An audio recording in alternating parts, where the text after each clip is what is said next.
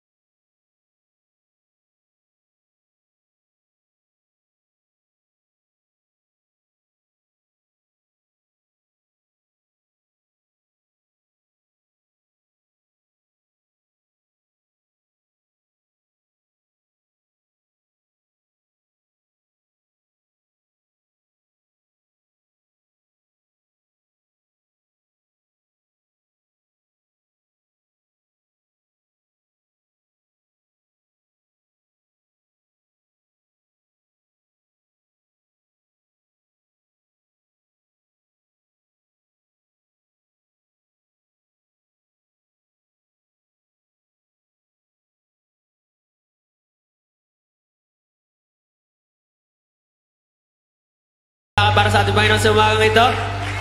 Hallelujah! Amen. Amen. Katahan ng joy to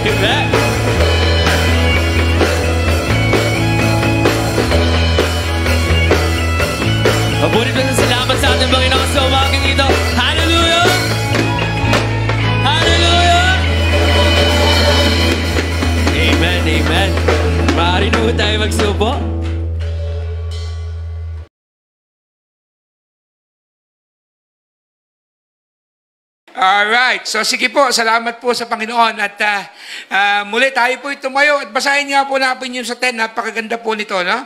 Tapos shift lang po tayo sa 14 if you don't mind. No? Alright. So basahin nga po natin yan. No? Alright. Luke chapter 2. ah, basahin ko lang po sa inyo. Maliit lang kasi lang gusto ko lang, gusto ko lang po i-emphasize sa King James Version. Kasi nga po sa King James Version natin kukunin yung points. At the same time, ah, ah, gusto po nating ah, pagdugtong-dugtungin itong kwentong ito. All right. Luke chapter 2, verse 10, uh, 10, 11, 12, 13, 14. So, basa lang po tayo sa 10, basa lang po tayo sa 11, and then basa lang po tayo sa 14. Binasa naman natin ang buo kanina. And the angel said unto them, Fear not, for behold, I bring you good tidings of great joy, which shall be to all people. Basa po ako sa 11. For unto you is born this day in the city of, our, of David a Savior, which is Christ the Lord. Shift tayo sa 14. Glory to God in the highest, and on earth peace, goodwill towards men. Let's pray. Lord, salamat sa pagbasa ng inyong salita na muli, Panginoon, meron kaming pagkukunan ng aming pong lakas, patnubay, Panginoon, at biyaya. Lord, salamat po. Nung sinabi mo na hindi lang po nabubuhay ang tao sa tinapay, kundi po sa bawat salita na lumalabas sa inyong bibig, indikasyon na kailangan po namin ng inyong salita. Lord, we claim na we cannot understand your word without the Holy Spirit because He is the author, Panginoon, na magkapaliwanag siya sa Kanya, magbubukas ng aming puso, magbubukas ng aming buhay, at higit sa lahat, Panginoon, siya po ang magbabago ng aming buhay. Lord, tungtungan niyo lang po ang inyong pang ang mag- mensahe sapagkat hindi ko po ito mensahe. Mensahe po ninyo 2,000 years ago at patuloy po namin ina-appreciate ngayon 2,000 years after na ang inyong salita, Panginoon, ay hindi nagbabago. Laging, ah, lagi pong ah, it brings refreshment sa amin. At higit sa lahat, Panginoon, when we celebrate your birthday, Nawa, ang focus namin ay hindi ang aming mga sarili kung hindi kayo lang, Panginoon. Forgive us for our sins. Bless you na bawat makikinig, Panginoon, maging ang mga taong nasa kanilang mga bahay at nakikinig ng aming broadcast. Maraming pong salamat sa pangalan ng Jesus. Amen at amen. Tayo po yung makakapapalandalian, mga kapatid. At ah, ah, patuloy po nating ah, pag-aralan ng salita ng Panginoon na matatagpuan po sa chapter na ito. Alright, saan ako mag-move? Alright, so dito ako sa kabila. Alright, so sige po. No? In times of this pandemic, sabi ko nga po kanina sa inyo, almost 10 months na tayong nasa pandemic. Tama po ba? At uh, I think uh, throughout the history, no, sa Pilipinas, and sa akin pong, uh, ako po ay nabuhay lang, eh, 48 lang naman yata, ako, ako ngayon, 48 lang naman ako, for, going to 49, no? Hindi po yata, ito yata pong uh, isa sa pinaka-stressful Christmas na mararanasan natin. Tama po ba? Why? Kasi the whole world, no, even the, the Philippines mo, nasa under po tayo ng quarantine. Tama po ba? At uh, nakataas pa po yung tinatawag natin na uh, GCQ sa Pilipinas. Kaya nga po, stressful ka, no? Lalong-lalo na kung ikaw ay nanay ng mga may inaanak, no? Paano ko pupuntahan yung mga ninong ko? Tama? Nakaka-stress yan, no? Oo, mga nagagala. Kaya nga po, Christmas 20 in the midst of pandemic. Kaya nga po, ito po yung kauna-unahan. Sana naman wag na. Ito na lang uling to, no? Na ang Christmas po natin, i-celebrate po natin na under this pandemic. Of course, the issue is this COVID-19, no? COVID-19, hindi nagbabago yan mga kapatid. Hindi porki lumuwag na ng konti, ang COVID-19 ay wala na. Nandiyan pa rin, no? Padami pa rin ang padami yan at wala pong uh, bakuna no na hindi pa na i-release sometimes yung bakunang uh, ni-release sila ni, ni ang talon ni uh, ang talon pinu-pull out no No, kasi nga po may mga konting effect, no? Kaya nga po ang sabi ng mga mga uh, economists, no? At least on the next six months, ganun ang ekonomiya ng Pilipinas and probably the world, no? Uh, because of this really pandemic. Ano na pa yung mga stress, stressful moment natin? Itong, uh, kasi, pakineng, pakisuyong ako. Ayan, pakipindot nga po. Ayan. Alright, traffic. Grabe, no? Pandemic na, traffic pa rin. And we are a victim of that yesterday. Galing po kami ng Christmas celebration, ang traffic. No? Grabe po, traffic. Talaga nakaka-stress po. Ano ba? Ang sabi po dyan ay uh, business or work. Yung tinatawag natin ang financial difficulty during this time. Some of us wala ng trabaho, wala ng pinagkakitaan. But praise the Lord and glory to God, maayos tayo. And some of us, mga kapatid, nag-bonus pa, nagkaroon pa ng incentive. Ganun po kabuti ang Diyos. Ang tawag po dyan, that is the favor of God among His people. At talaga nga na, na mabuti po ang Diyos talaga. Talaga nga, ramdam na ramdam natin na may Diyos during pandemic, no? Humaba lang ang buhok, pero humaba pa rin ang buhay natin dahil may Diyos tayo. Amen? Amen. All right. So tuloy po natin. And then, national calam- uh, natural calamity. Nagsimula ng lindol, na, na, sinimula ng bulkan, sinimula ng, uh, pagkatapos po niyan ay baha, no? Bagyo. Ngayon po sa, sa Davao ngayon, binabagyo sila. Baha nga naman sa Davao ngayon. No, mga kapatid, talagang wala na pong ano. Kumbaga, wala na yatang uh, lugar sa Pilipinas, no? Talagang uh, na hindi ka po mababasa. Eh, talaga naman nakaka-stress. Ano po? And uh, typhoon. Natural yan. And then ano yan? Volcanic eruption. Ngayon, hindi pa nga nakaka-recover yung mga kaibigan natin sa Batangas, no? Eh, ito na naman, mayroon na naman bagyo, no? At nawawash out yung mga asphalt. Napakahirap po niyan. And then, earthquake. Ito mabigat, no? physical difficulties, may mga sakit, no? Na high blood na siguro dahil sa stress, no? Ito po yung mga mga stress, no? May mga sakit tayo. At ah, ito po yung nagiging dahilan bakit po ang ating pong ah, Christmas this ah, celebrating this Christmas season is difficult dahil nga po dito sa mga sitwasyon na ito. At ito pa ang mabigat. Kung ikaw ay nasa abroad at hindi ka makauwi sa pamilya dahil ikaw ay ah, ah, 'di ba, may emotional stress ka, 'di ba? Ang tagal mo nang hindi nakikita ang pamilya mo. Tatlong taon na. Of course, exempted, ano ka, ah, special ano ka, di ba? Kasi nga po, ah, ang pandemic, minsan, karatig bayan lang, hindi mo mapuntahan. Tama? So, napakahirap po talaga. Pero po, mabuti ang Diyos. Is that an amen? And that is what the message of Christmas is all about. No? God is good. Always. And all the time, God is good. Yan po ang message natin. No? Pero ang Pasko, mga kapatid, hindi po palagpasin ng Pinoyan. Amen? Excited tayo. We are the most excited nation when it comes to Christmas. At maski na po, ang, kaya nga ang Pilipino is resilient. We eat typhoon for breakfast. Di ba? No? Talagang isi-celebrate po natin yan maski na nakamas. Magkasabi tayo ng parol. No? Ang tanong po ay ganun, can we still have a Merry Christmas in this pandemic time? Obviously, di ba? Nakapula pa nga tayo, di ba? No? Kaya gusto ko po i-encourage kayo ninyo na yun po ang message ng Panginoon this morning. No? You can always celebrate Christmas kasi nga po, hindi lang naman it's a daily, it's, it's just a one-time event or a yearly event, but it's an everyday event. Tama? Kaya nga po dapat talagang sineselebrate po natin ang Christmas. At uh, sinong gusto nyo mag-celebrate ng Christmas? Ibang religion? Di ba? Ang masakit minsan yung founder natin, yung pastor natin, sineselebrate yung birthday, pero yung Christmas, ayaw natin i-celebrate. Why? Ang ingay no ano ko. Di ba? Why? Dahil lang po ba yan sa ating, uh, sa ating pong, uh, uh, it's not a doctrine, but it's a practices na sinasabi po natin. Huwag po natin isipin na talagang, tanda natin, ang Panginoon po is supraculture. Ibig sabihin, He is above every culture. No? So we have to celebrate. Kristiyano tayo, excited tayo, tayo dapat sa Pasko. And I'm, I'm one of those. Tama? Baski na mahirap, no? Basta may pagsasaluhan, pagsaluhan. Basta mahalaga si Kristo, ngayong Pasko ang importante. Hindi ikaw. Amen? Ikaw na i-stress, hindi mo naman birthday. Yung may birthday ka, hindi na-stress eh. Tama? Ikaw ang nai-stress, ano iluluto ko? Ano, mga kapatid, tiyak hindi ka pwede magluto. Kasi bakit? Bira ang dadalaw sa'yo. No? You, you, you should admit it. No?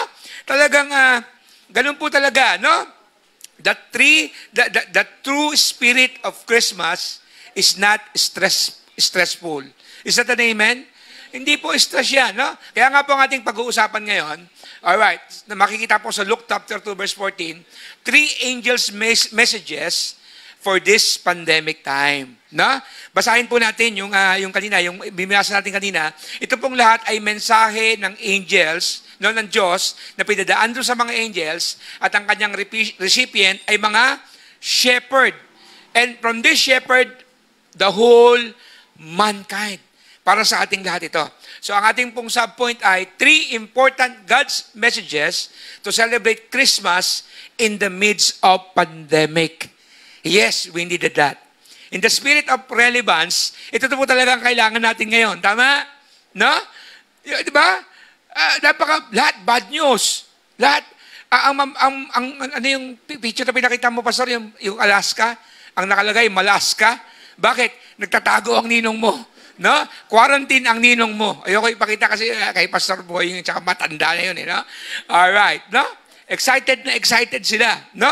Uh, so, let's, pag-aralan po natin at isa-isain po natin ito, ano ba yung mga meaning at ano ba yung talagang context nung sinabi nung, uh, nung mga, uh, nung, uh, nung Panginoon through, the, through these angels, yung mensahe niya for Christmas. Ito talaga yung spirit ng Christmas. Ito talaga, this is the message of Christmas. Alright, so, ang sabi po diyan, And the angel said unto them, Fear not. So yung ating pong point number one, tatlo lang naman yan. Fear not. Huwag kang matakot, no? Fear not, for behold, I'll bring you good tidings of great joy, which shall be to all people. So, fear not. Sabi mo nga sa katabi mo, fear not. Fear not. Huwag kang matakot. Ako lang to. Alright. So sige, tuloy po natin yung ating pag-aaral, no? And uh, nakakatuwa po dito, no? Nakakatuwa po dito. At uh, tignan po natin yung uh, uh, ibang klase po talaga mag-isip ang Panginoon eh. Ibang-iba po siya, no? Ibang-iba siya, fear not, no?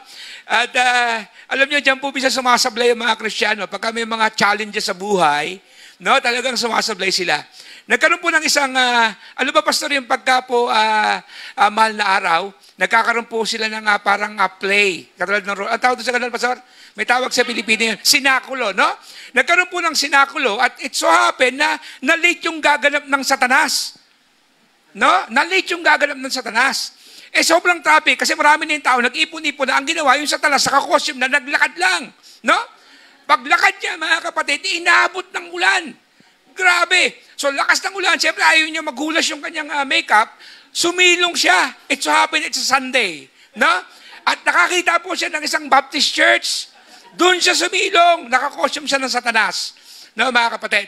At uh, siguro, siguro, katapos ng benediction, yung mga, alam niyo ng mga Baptist, di ba? Pag benediction na, takbuhan na yung palabas. No? Nung siya mo'y papunta doon, nakasalubong niya yung mga membro, takbuhan! Si Satanas eh. Tama ba ba? Nagulat sila mga kapatid, takbuhan lahat talaga. At merong naiwan na eka-eka senior. Hindi ikaw si Teresiano na, na? Naiwan. At siyempre, pinaninindigan niya na. Di ba? Sabi niya, takbo! Sabi niya, eh, hindi makatakbo, dahan-dahan ka no, no, Baptist. Sabi niya ganyan. Ba't hindi ka tumatakbo? Hindi na nga ako makatakbo, matanda na ako eh. No? Uh, gusto ko lang ipaalam sa'yo na ako ay umatin lang dito. Pero talagang matagal na sa'yo na ako. no? Sister Sharon, hindi ikaw yun ha. Mga kapatid, ganun tayo. Bisan pagka nandiyan na yung challenge, no?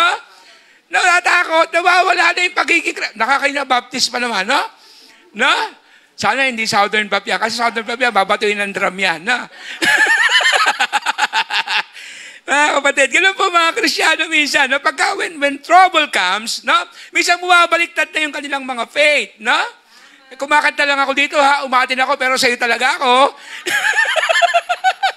Alright, tuloy po natin. Alright, gamitin po natin na medyo uh, uh, maganda, isang, isang, isang one of the uh, dynamic translation ng Bible. But the angel, gusto po natin tingnan natin yung angel. Ang word po na ginamit dyan is angelos, no? Angelos. Uh, ang ibig sabihin po niya sa Bible is messenger, tagapaghatid, balita o tagapaghatid, no? Ilang po, messenger. Angelic being whose main task is to bring the message from God. Yun po ang uh, yun po ang uh, context niyan and the characters. But during the old times, most of the angels' messages were for destructions. God talks to the prophet, no? But uh, but uh, God usually uh, uh, but but God usually uh, execute his uh, his wrath, no? Towards the angel, through the angels, no? So kaya nga po, kung titingnan po natin yung background, no? Kaya nga po ang, ang yung, yung mga yung mga yung mga shepherd, natakot sila, no? Balikan natin yung susunod, susunod na verse doon, sinundang verse niya, no? Uh, they were terrified. Natakot talaga sila, nagulat sila. Kasi dumating si Satanas. Hindi, biro lang, binabalik ko lang yung kwento, no? Dumating uh, dumating yung angels. So, ang ang ang ang, ang angels during that time is bad reputations for bringing wrath no? They are the carrier of the bad news. At uh, one of the famous angels, sino? The messenger. Si? Sino ba? Si Gabriel, no? Uh, or si Gabriel. So, yan po ay nangyari din nung sinabi niya yung message niya kay Mary. Kung ikaw ay dalaga at ikaw ay naka-schedule na magpakasal at sabihan ka lang mabubuntis ka, no? At ikaw ay nagdadalang tao, is that a good news or bad news on a natural sense? Bad news! Tama? So talagang uh, consistent ang mga angels. Kaya nga po, natakot, no? Natakot po, natakot po ano, natakot uh, uh, natakot yung mga apostles. And by the way, uh, the, the term angels is also used uh, na, uh, na, na yan po ay inuugnay nila sa mga pastor.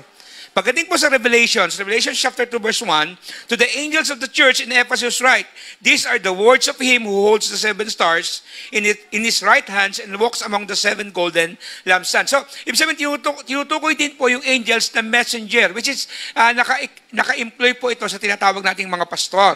Alright, on this uh, setting, ang angels pong tinutukoy ay yung galing sa langit. No? Yung galing sa angelic being. Alright, so sino po ang ah, ah, sino po ang tinatawag na recipient of the news?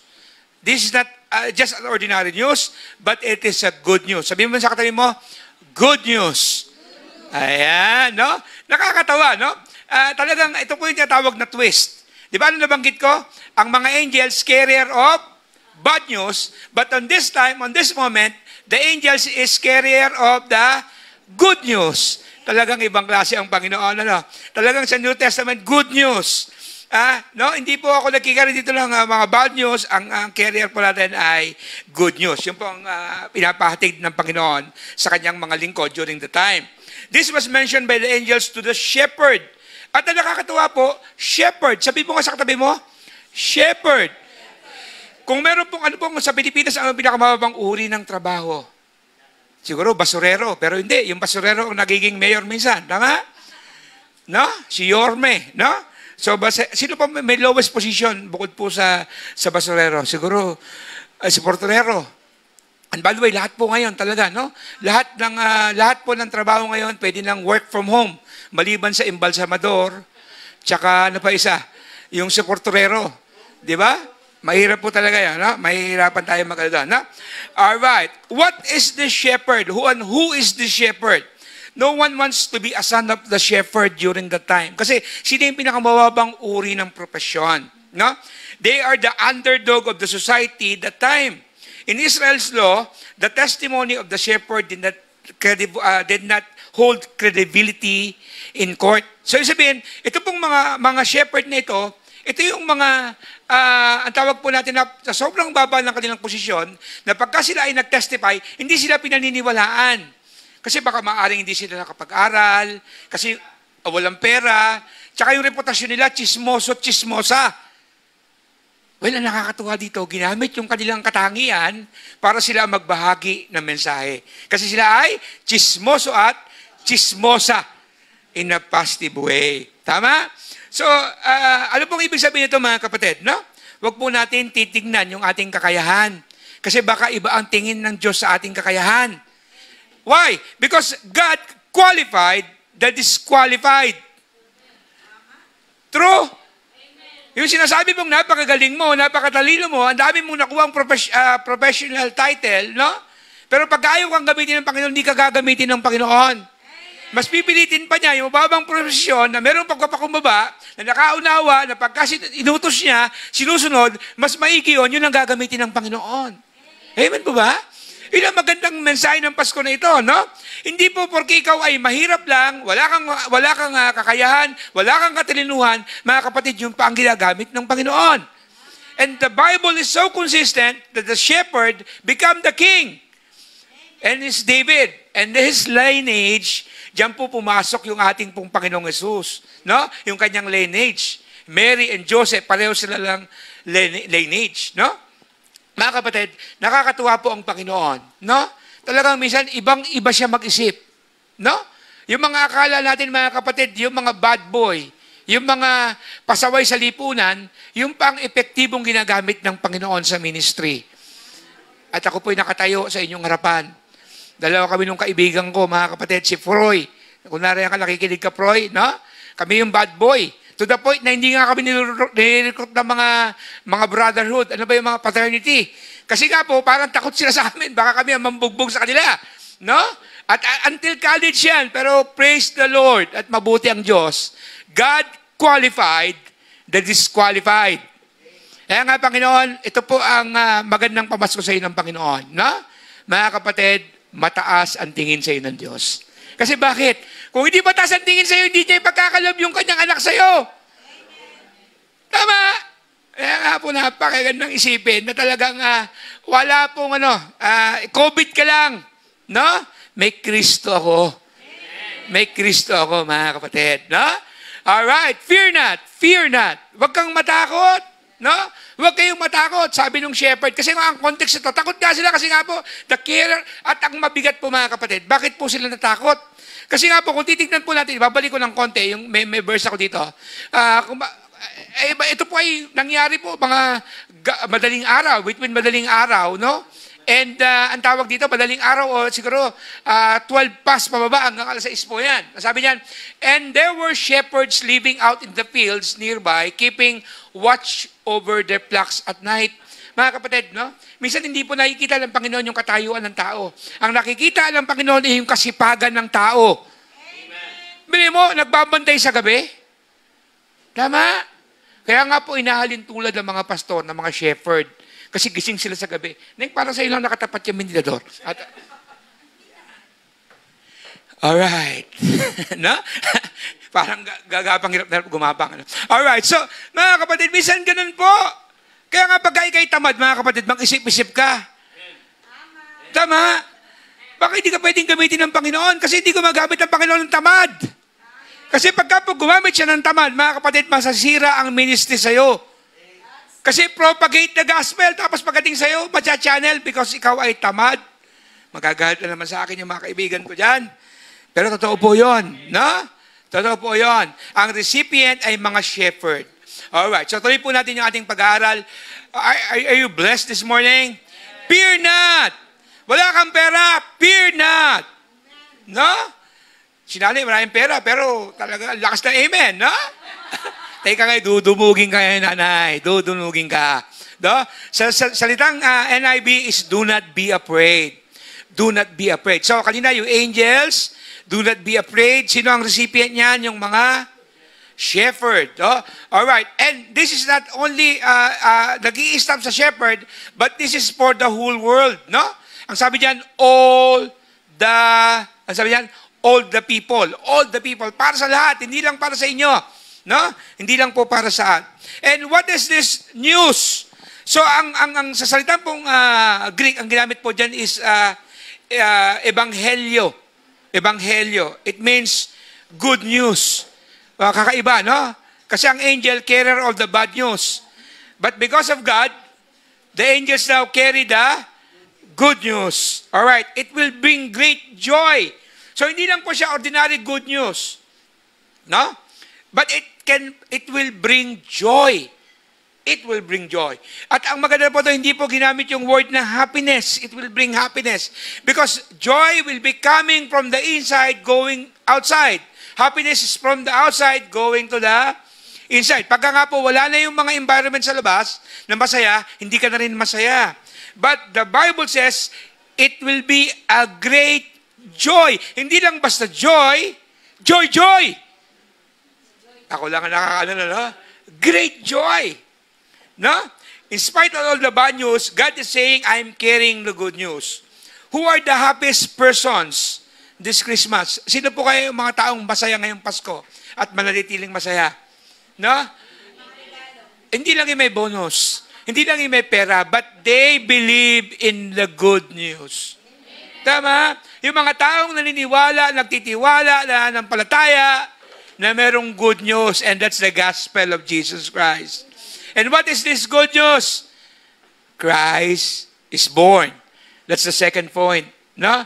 Pagka naniniwala kang Christ is born, ikaw ang pinaka maswerte. Ikaw ang, uh, uh, bakit yung term na swerte? You are blessed, no? You are the more blessed, no? Kasi nga po talagang uh, lahat tayo pinagpala. For everyone, the universality, uh, it is for everyone. No? Ang tawag dyan, the universality of the good news. Para po sa lahat. Sabi mo nga sa katabi mo, sa lahat.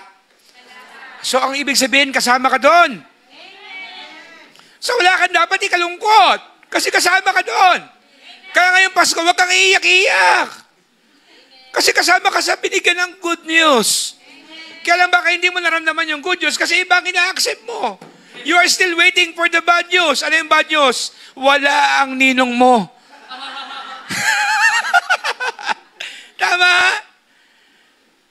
Wala akong panghanda. No! Christ is born. And that is our second point, no? And what is this good news? The good news is the Word of God. And the Word of God, no, is our Lord Jesus Christ. Romans 1.16, I am not ashamed of the gospel because it is the power of God for the salvation of everyone who believes. First for the Jews, then for the Gentiles. And expose na Ano daw yung good news? Mga kapatid, Christ died for your sin. Di ba? Mga kapatid, maski na po wala kang regalo, pero kung ah, regalong ah, material ngayong Pasko na hindi ka matatagpuan sa Lazada at ah, Shopee, ikaw pa rin ang pinakamasayang tao kasi bakit? Tinanggap mo yung regalo ng Diyos na si Kristo Jesus. Na hindi po galing sa Lazada, galing po sa langit. Amen. Talaga ako na-encourage, mga kapatid. Kaya nga po, mga kapatid, ngayon, wag kong payagan na nasa ilang regalo. Napakalaga ng regalo because it is the power of God. It is the power of God that changes people position from sinner to forgiven. Siya nagbabago from, from hell to heaven. Di ba? From uh, save, uh, from unsaved to be saved, to, to save, no? For being saved. So, ibig sabihin talaga napaka-importante po nitong mensahe. Kaya nga po ngayong Pasko, mga kapatid, wag na wag kayong may pagtitipon na hindi po nababanggit si Kristo na nag, naglilinis ng kasalanan ng tao. Amen? Para maging merry yung Pasko mo, kapatid, ulit. No? Fear not. Wag kang, wag kang, kaya nga sabi niya, I am not ashamed of the gospel. And we are ashamed of you. Kung Christian ka, mga kapatid, kayaya ka kung hindi ka marunong magbahagi ng salita ng Diyos sa iba. Amen? This is a great opportunity to, to share this gospel sa lahat ng, lahat ng tao. No? Uh, for the salvation of everyone who believes. Selective, selective lang yan. Hindi po lahat naliligtas. Amen? And it is not, ano, it is not uh, by uh, association. Baptist tatay ko, baptist ako umaten, ligtas na ako, hindi po. Kailangan tanggapin mong personal si Kristo bilang sariling tagapagligtas. And that's the good news. Tatanggapin mo yung, yung uh, ikaw yung makasalanan. At ang kasalanan na yan, magiging dahilan bakit ka mapupunta sa impyerno.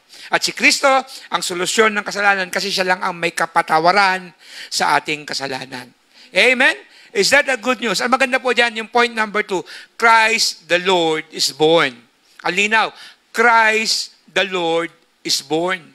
Today, in the town of David, a Savior, tagapagligtas. Sabi mo nga sa katabi mo, tagapagligtas. Ay sinilang na. Alam mo, sinilang na ito, mga kapatid. No? Ito ay pagsilang pa lang. Ang mabigat dito, pagdating po nung uh, mahal na araw. Kasi ang sabi doon, ibinigay niya na yung buhay mo sa'yo. Pero ito maganda kasi, uh, ito talagang, uh, He is born for you. Hindi ang boyfriend mo. Hindi yung girlfriend mo. Di ba? Christ is born for you. It's personal. Mga kapatid, hindi pa pwedeng ano, di ba? Ang mga kamag-anak mo, Christian, ikaw Christian na rin, hindi totoo yun. Wala sa Bible nun. Personal, kailangan tanggapin mo si Kristo bilang sarili mong tagapagligtas. Tama? Sabi nila, iba na raw ang tinuturo na, Pastor, iba na raw ang tinuturo natin gospel. Kung ano itong tinuturo natin, ano itong gospel na ito? Tama? That Christ born for you and He died for your sin. Amen? Ganda pong ibisipin niya na yung Savior ibinigay sa iyo at ibibigay niya ang buhay para sa iyo. And it is for the salvation of mankind. Alam nyo, salamat po sa Panginoon kasi ang ganda ng plano ng Diyos sa tao. Tingnan mo yung katabi mo. Sabi mo sa ang ganda ng plano sa iyo ng Diyos. Wow! O sige, ang pogi ng plano sa iyo ng Diyos. Nagreklamo eh. Tapos yung mga lalaki naman, ang ganda ng plano sa iyo ng Diyos. Gumaganon, gumaganon. Mga kapatid, no? Maganda ang plano sa iyo ng Diyos. Tama? God give us what we need. Our greatest need has been information. If if, if, if our greatest need has been information, God would send us an educator. Magpapadala daw siya ng ano, magpapadala daw siya ng uh, uh, tagapagturo kung kailangan daw natin ng impormasyon. If our greatest need has been technology, God would have sent us a scientist. Tama naman, di ba? Kung halimbawa kailangan daw natin ng technology, magpapadala ang Diyos ng scientist. If our greatest need has been money, kung ang uh, kailangan daw natin talaga ay pera, God would have sent us economist. Yung ekonomista, no? Siya yung mag-aayos ng ating uh, ating uh, business at ang ating pinagtatrabahuan. If our greatest need had been pleasure, kung halimbawa ang uh, kailangan daw natin ay entertainment o pleasure, yung kasiyahan, God would have sent us an entertainer. No? Magkapadala daw ang Panginoon ng tagapag-aliw. But our greatest need was forgiveness. Ano bang kailangan ng tao? Kapatawaran sa kasalanan kasi tayo ay makasalanan. Mga kapatid, so God sent us Jesus, our Savior. Amen? God sent us Jesus as our Savior. Wala po kaming ibang sinisigaw sa pulpit ito kung hindi si Jesus pa rin ang Savior, hindi si Pastor, hindi po ang Baptist, at lalong-lalo na hindi ang iyong mga magulang. It's Jesus. And the good thing about this, He is born for you. It's a personal thing. You will be, you will still be scared of uh, what you don't understand, but personally you have to understand that Christ died for you. Tama? All right, Christ the Lord means the anointed one. Kung tinignan po natin yan, Christ the Lord, the, the anointed one. Christ the Lord, the anointed one. No? He is your Lord. Amen? He is not only your Savior, but He is your Lord. Sabi mo nga sa katabi mo, Lord. Sa Tagalog, Panginoon. Ngayon kung Panginoon mo siya, sino nasusunod sa iyong buhay? Dapat ang Diyos, si Kristo. Tama? Pag sinabi niyang mag-share, mag-share. Pag sinabi niyang magturo, magturo. Pag sinabi niyang go, go. Pastor, may pandemic, standby lang. Kasama din kaming nakaabang, lalo si Pastor Giel. Si Pastor Giel, tinatali lang namin, no? Kung hindi po, tinatali lang namin yung war ng camera yan. Kung hindi talaga tatakbo na yan. Tama? Para lang makalma siya, bumili siya ng pintura at pinturahan ng pininturahan ng mga church. Mga kapatid, grabe talaga, no? Talagang you cannot contain His love for God. That He, he will do anything just to please His God. Amen? Ganun po, no? Kahapon, di ba? Wala naman, di ba? Bibili kami ng flowers, no? No? Nagbinigay ako ng pera, no? Ang expected ko, kalahati lang ang kakunin niya sa pera. Pagdating nila, sinubos niya yung pera. Binili lahat ng flower. Wala akong nasabi. Kasi mas malaki pala ang pag-ibig niya sa Diyos kaya sa akin. Madaling lustayin ang hindi sa'yo. Grabe, di ba? Why are you giving that money to buy flowers? Because I love the Lord. It's His birthday tomorrow. Mali ako ng binigyan. Sabi ko, 20 pesos lang ang bilihin mo? Hindi, biro lang. Wala namang pong ganon. Mga kapatid, ganon po. Because Christ is born, also uh, my Lord is born. At uh, talagang siya po ang Panginoon ng aking buhay. Walang makapipigil pag gusto ko siyang sambahin kasi siya ang Diyos ng aking buhay. At wala rin makakapigil sa akin, mga kapatid, sa aking pagkakaloob kasi kung gaano niya ako minahal, ganun ko rin siya minamahal. Amen? Kapatid, when I was still a young boy, doon sa aming Baptist Church, na young boy, yeah, young boy, na? At medyo islang-islang ako noon, no? Islang-islang kaya ang mga kanta ko, puro mga daw, daw, di, no? Pati yung mga kanta namin, daw, di. At isa ito sa mga paborito kong kanta. Na nakalimutan ko na yung tono. Kasi nung ako yung maging, uh, makasama ko to si Pastor Boying, puro ano na kinakanta nito eh, no? Kasi laging uh, new song, o pastor new song, no? Mga kapatid, ito po yung kanta.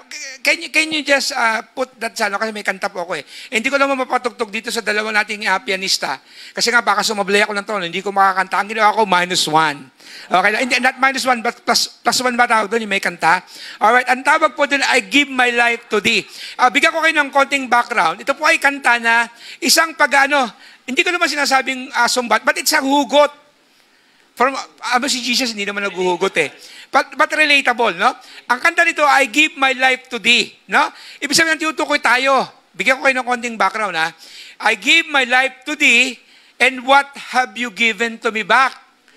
Yun po ang ibig sabihin nito. At ang ganda nitong kantang to, mga kapatid. Uh, Pastor, okay na, ready na? Piplay ko ha. Pakinggan po. Sana sa mga susunod na awitin natin, kantahin natin to, no? Para tayo, tayo magbibigay sa Panginoon. Teka, teka, start. Hindi yan. Sorry, sorry. Nakakabit na sa akin. Alright, so ito, ito pa. Para makakanta yung mga kaibigan natin. Alright. Sige nga po. Uh, paki-on lang yung slide. Pakinggan lang. Naka-ready na yan. Nandiyan na po sa PowerPoint. Ah, nandiyan po sa slides. Ayan. Alright. Ito po yung kanta, no? Eh, 1918. Okay, go. Alright, so ito, ito, ito yung lyrics ng kanta, hindi pa yan. Alright, ito yung. I gave my life for thee. And he's talking to himself, Jesus Christ. Ang author po niyan ay si Francis Ridley Har, uh, Harvergal, no? Uh, ito po ay awitin ng pagmamahal niya sa Diyos at na-realize niya na uh, talagang mahal na mahal sa ng Diyos. Wala siya may susukli. Ginawa niya itong kantang ito. No? I gave my life for thee, talking about Jesus Christ, my precious blood I shed. Diba, ibinigay niya yung kanyang dugo para maintindihan ng iba, no? para at least pagkakinanta natin, alam natin yung meaning. That thou, that thou might ransom be. Para daw tayo ay may ransom. Ano ba yung ransom? Matubos. No, matubos tayo sa ating uh, uh, matubos tayo and quicken from the dead at alisin daw tayo sa kamatayan, no? I gave I gave my life to thee. What hast thou given for me? Ano naman daw ibinabalik mo sa akin? Mamaya, meron tayong happy birthday, Jesus. Siyempre, yan yung ating, uh, ang tawag po natin dyan ay reaction. I gave, I gave my life to thee. What hast thou given for me? All right, go. Ayan. I for thee, my precious blood I shed, that thou mightst ransom thee and quicken from the dead. I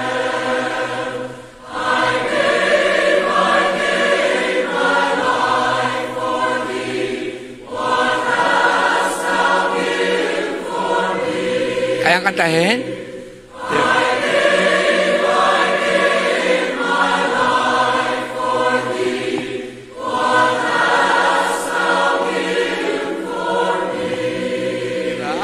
Tama naman, di ba? Ano nga ba binigay nyo sa akin? Di ba? Parang, ito maganda, ito, ito pinakamahugot dyan, yung pinaka-last stanza. Look at this last stanza, no? Alright.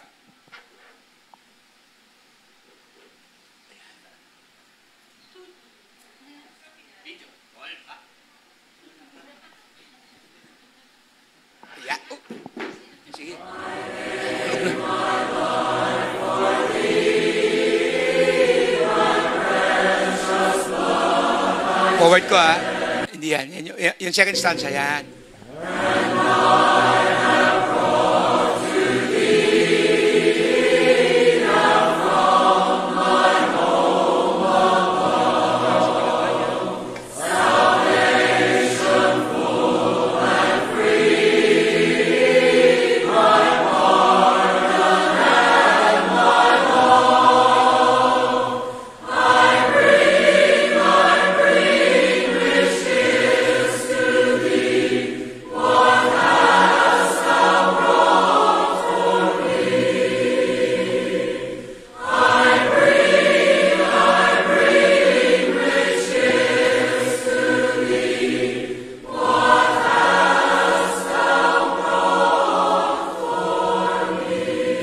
Is that a hugot?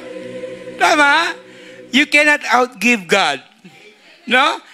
Wala kang may bibigay sa Diyos na kaya mong tapatan yung binigay niya sa iyo kasi binigay niya yung buhay niya para sa iyo. Kaya nga po, galing sa langit, mga kapatid, wala, hindi galing sa Lazada. No? Siya mismo ang nag-deliver nito para sa iyo through the Holy Spirit. Amen? I bring, I bring rich gift to thee. Ano yun? Salvation.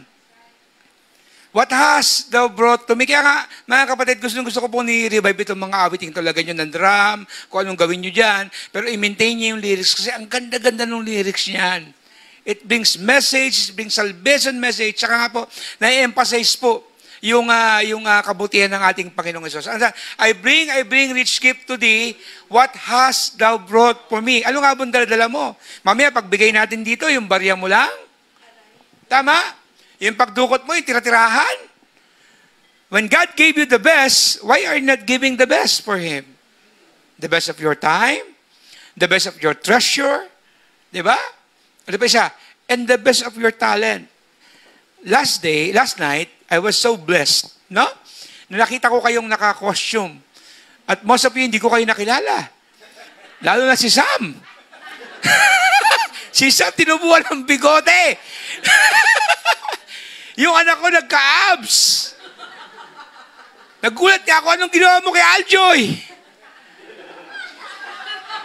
Ang bilis naman.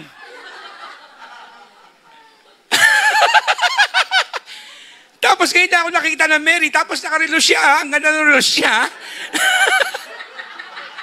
well, I'm talking, baka iba hindi nakakarelate. Meron po kasi yung play, abangan niyo po yan mga kapatid. Kailan niyo ba i-ano yan, ipi-play, Pastor? Ah, Christmas mismo? Okay. So mag-abang kayo, ilalive namin yan. Christmas may aabangan kayo, di ba? So napaka-Christmas play po. Ano ang title po niyan? Lumayo ka man sa akin? Ah, hindi. Iba, iba yon Iba yon iba. Who killed Jesus? What? Nap- nap- napaka pang Christmas title na title. Pinag-isipan yung title, ha? Sabi nga ni Pastor Casis, sinakulo na ba? Kasi nakita niya si Judas, eh, Christmas pa lang may Judas na. well, natatawanan tayo, pero nakakatawa po naman talaga. Ano, nakakatawa po talaga. Ah, ah, ang yung pastor natin, albas mag-isip. Christmas ba si Judas? well, anyway, is that a good song? So I challenge you, mga yung ating mga pianist yan, turo nyo sa amin yung kantang yan. No? Ang napakaganda niyang kantang yan. Parang uh, yan yung katapat ng Amazing Grace, ano pa yung mga ibang tapat yan. Ang katapat yan yung standing on the promises of God and that is one of our heritage as a Baptist, yung ating pong mga hymnals. Tama? No? Alright, it's better than victory song, I believe. Dalawa lang kami ni Berlin. Alright, tuloy po natin, no? Alright. And then last, ano yung, ano yung first point natin? Fear not. Number two, Christ the Lord is born. Alam nyo bakit is yan di was? Kasi every time na makikilala na si Kristo at mararamdaman mo siya sa puso mo, it's continually happening in your life. Amen? Ibig sabihin talagang uh, patuloy siyang, na, hindi na ta- sinisilang sa atin. At ting ang tao ay maboborn again, lalo na ikaw ay uh, naging bahagi at naging dahilan ng Panginoon para ibahagi, ginamit ka ng Panginoon, no? Talagang nagiging buhay yung patotoo ng Pasko sa Kanya. Amen? Alright, number point number three, peace on earth, kapayapaan. Kapayapaan. Alright. Ang sabi niyan, glory to God in the highest and on earth peace, goodwill towards men. Yun ang sabi ni King James. No? Alright, so sa NIV, medyo maganda yung kanyang translation kasi may binanggit siya, pabor, rest. So hindi po lahat pinagpapala at nakakatanggap ng kapayapaan. Tama? Nasa Diyos pa rin yung nakakatanggap nun. Ang ganda po, ang ginamit pong word dyan, sa, hindi po Greek, but uh, although natin ang ginamit yan sa, sa, sa word na yan, but it's a Hebrew word equivalent to shalom. Ibig sabihin shalom. Ang mga Hudyo po, ang bati po nila ay hindi po kamusta sa atin. Sa Pilipinas ay mabuhay. Sa kanila po, ang bati nila ay shalom. Ano ibig sabihin ng shalom? It means peace, kapayapaan. And it is more than that. No? Ang ibig sabihin po ng peace, it ibig sabihin you are blessed. Pinagpala ka. No? At hindi na po blessed, but it is uh, in the fullness of it. John chapter 10, verse 10b, di ba? So that you have a, a life of its fullness.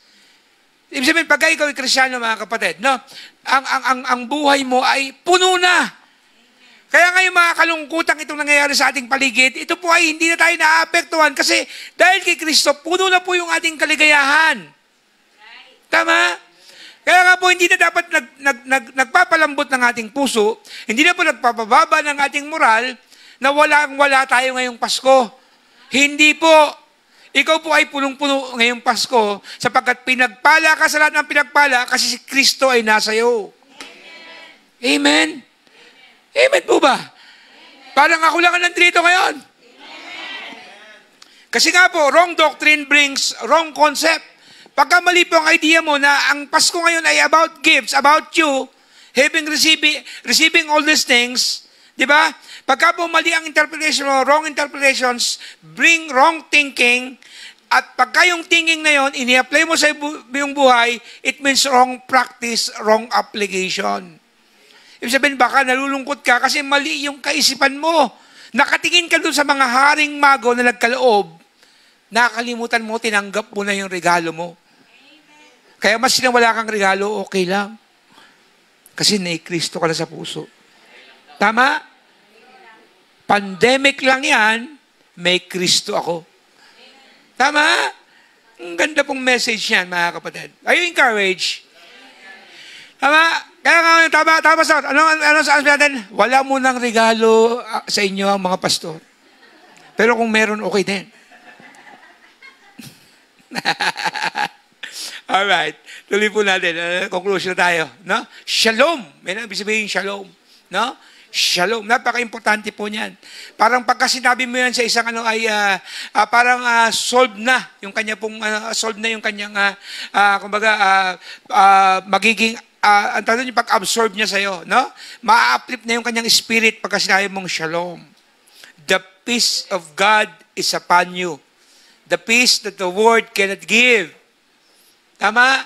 It is the peace that the word cannot understand. It is the peace of God and it is the shalom. Amen? At ang maganda it's a forever shalom. Kaya nga si Pablo, di ba?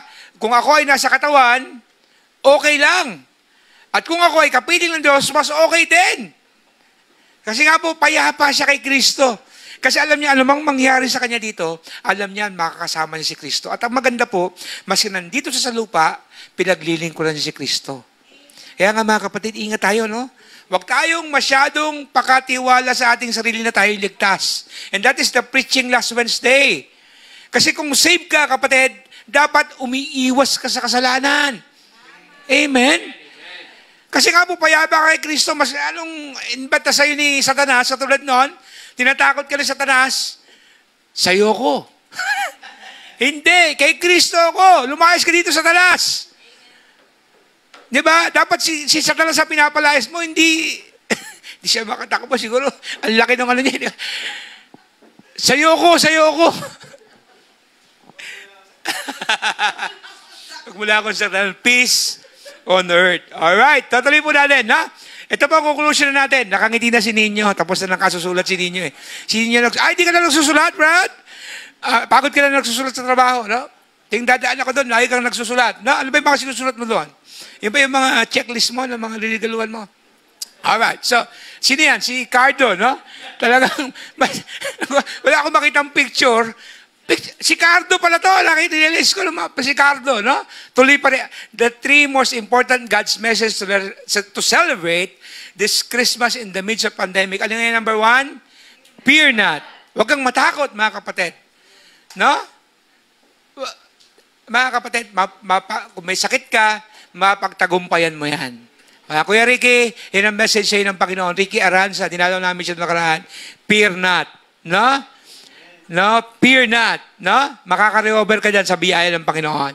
And number two, Christ the Lord is born. No? Sumisilang sa sa buhay ng tao.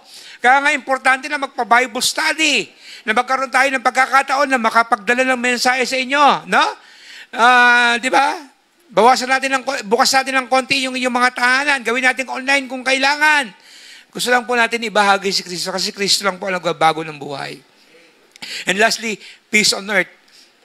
Yan po ay solusyon. Pagka nawala ang takot, naunawaan mo na si Kristo ay nandiyan ikaw ang pinakapayapang tao sa balat ng lupa. Amen?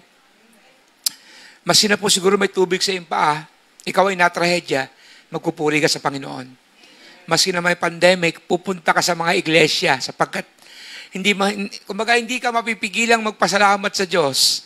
Tama? Kasi ang Diyos naghahanap eh. We are the nine. Yung pinagaling niya yung sampu, we are the nine. Nasaan yung pinagaling kong siyam? Ay, nako po, nagpunta sa mall. Ay, nako Lord, nag-ML. Di ba? Okay, si dalawang tantan, yung sa ML ng ML, TikTok ng TikTok, to isa naman, basa ng basa sa ulo ng sa ulo. Which one is better? eh, nagti-TikTok. Kasi mala, mala, mataas daw ang ano nun, uh, viewers. Mga kapatid, sana kung may apo ko ganun, ano, talagang, ikaw na. Ika, Papa the best ng dalawang ito, napapaampong ko sa inyo yung apo ko. No, kapatid, matagal pa yon, no? Matagal pa yon. No? Mga, mga bukas. Alright. So tuloy po natin mga kapatid ko. Alright. So tapusin natin itong kwentong ito. Who, who knows the right brother? Di ba? Naghalap kayo ng mga, siya na ba si Mr. Right? Eh, hindi yan yun. Hindi yan yun. Hindi yan. The Wright brothers invented the airplane. No? It was in 9, December 1903. Ang sabi yan, December 17. Talagang uh, yung kanilang first flight, 120 feet ang kanila pong inilipad. 120 feet. Gano'ng karahaba yon? Siguro ito po ay dalawang floors, tatlo, lima. Limang palapag po, limang palapag. Ganun lang itinaas nung, nung, nung, nung, nung aeroplano. No? Tama ba? 100 feet. Hindi, 10 palapag. 100 feet eh. Uh, 120. So, 12 story. Sorry, but ano ba nangyari sa akin? 12 story, no? Parang hindi ako engineer, no? 120 feet. So, ibig sabihin, uh, 12 floors na building ang tinaas. Tuwan-tuwa sila. It is an achievement of mankind. Nakauna-una ang tumaas ng gano'n at uh, few minutes lang ang tinagal. Tuwan-tuwa sila. Alam niyo ba, ang, si Mr. Wright, ah, si Mr. Wright, alam niyo ba din, the Wright brothers, meron silang kapatid. Sino yung kapatid nila? Si Sister Wright, definitely. Ang tatalino niyo talaga, no? Talaga naman. Pastor, meron silang kapatid. Si, si Sister Wright. No, the Wright brothers. All right. So, ang pangalan po is si Catherine. They were so excited na talagang after trials, trials, hundred of trials, talagang they failed. But on that particular day, December 17, uh, 1903, lumipad yung aeroplano and the two brothers are so excited. So ang ginawa nila, tinelegraph nila yung kanilang kapatid na ang pangalan ay Sister Wright. Uh, si Catherine, no? At of course, during the time, telegram, no? Excited din si Catherine kasi inabangan niya siguro sa sobrang inip niya, umuwi na lang siya sa bahay, no? At uh, ang ginawa niya, excited siya. Ang, ang kanyang message ay, uh, uh, we actually flown 120 feet. We'll be home for Christmas. Yung ang message sa telegram. So excited si Catherine, no? ang ginawa niya, dinala niya sa local editor. So kasi during the time, newspaper yung news eh. Talagang sila yung uh, parang uh, uh, Facebook sila lahat yan, sila ang media during the time. Excited siya, pinakita niya. Eh, during the time, yung editor, wala siyang pakialam sa mundo kasi ang mahalaga sa kanya, Pasko. Pasko. Kaya ang sabi niya, nung sinabi niya, pinakita niya yung mensahe. Ano yung mensahe? We have actually flown 120 feet, we'll be home for Christmas. Ang naisip niya lang at ang nakita niya lang, no? That's good. The two boys will be coming for Christmas. Will be coming home for Christmas. Hindi niya nakita yung, yung, yung hindi, hindi nakita nung dalawang bra, nung, nung, nung editor na mas mahalaga yung sila'y nakalipad, ang mahalaga sa kanila ay Pasko. Mga kapatid, this Christmas time, hindi mahalaga yung pandemic. Hindi mahalaga na wala, nang, wala pang bakuna at the moment. No? Ang mahalaga, may Pasko. At si Kristo ang dahilan, but may Pasko. Amen? Kaya nga, pakatid, pagka hindi ka, hindi ka naging masaya ngayong Pasko, maiya ka naman. Mas mahalaga si Kristo yan. Kasi for the past eight months, si Kristo yung nagliligtas sa'yo. He gives you protection, He gives you blessing, He gives you everything. Mas walang bakuna yan, ang Panginoon pa rin ang magliligtas sa iyo. Amen? Hindi ko sinabing huwag ka magpabakuna. No? Ang gusto ko lang, may mas mahalaga pang bagay kesa bakuna, yan po ay ang Diyos. Amen? Kailan kaingat ka mga kapatid? Kasi minsan ginagamit po ng Panginoon ng, ang pestilence. And, and, and COVID is a pestilence to bring His wrath to His people. That's true. And that's the message, na? Minsan, ginagamit po ng Panginoon ng pandemic para, uh, para parusahan niya ang mga dapat parusahan. Tama? Ngayon pa so natin to, na baka ibinibigay ng Panginoon niya para parusahan ang tao. At huwag niyang tignan ng teknolohiya ang kanyang kapasidad, ang kanyang kapabilidad, ang tignan niya ang capability ng Diyos sa kanya buhay. Yun po lang, ganun kasimple yan mga kapatid. Kaya nga it's the best time to share Jesus this Christmas because He is our only hope. Because Jesus saves. Hindi po nagbabago ang mensahe ng kaligtasan. Jesus saves. Jesus saves. Sana yan po ang mensahe ng Pasko sa iyo. Jesus saves. Fear not. Our Lord Christ is born. He is your Savior peace on earth. Kapatid, napakaganda po. Tayo po tumayo. Tayo po ay manalangin. Maaga na naman tayo, Pastor. Ewan ko ba kung bakit? Let's bow our head and let's pray. Lord, we thank you for this message. Nanawa ngayong pag-celebrate namin ng Paskong ito, we are the most excited people in the world because we are all saved. At dahil po din para po kami po ay mananalangin, nadalangin po kami, dalangin po namin Panginoon na gamitin mo kaming daluyan ng iyong pagpapala ngayong Pasko.